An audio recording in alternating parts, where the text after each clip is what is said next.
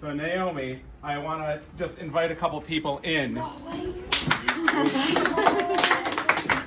so Naomi has won the grand prize for the ADAC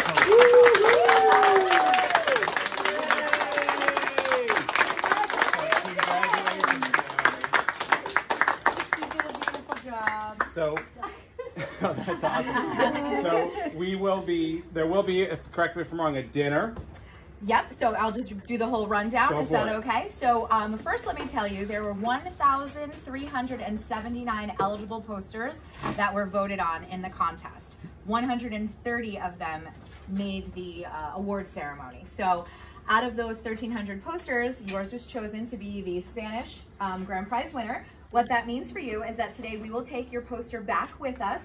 It will go to a framing uh, FCC galleries where it will be custom framed for you. So you will have it forever. Um, first, what we'll do is we'll take it and have it scanned because 250 copies of that poster will be made and distributed to every school and community uh, organization and county government office all over Orange County. So you'll probably see it many places in the next couple of years and you will be a, awarded uh, $200 grand prize. That's at the ceremony. That's on Friday, May 8th. And then you will also be getting receiving an award from the Orange County Youth Bureau, which is the, the dinner that Mr. Wentworth mentioned. So you'll uh, be there with about three or 400 other students across Orange County that get awards for a multitude of different things, and one of them is this. So congratulations.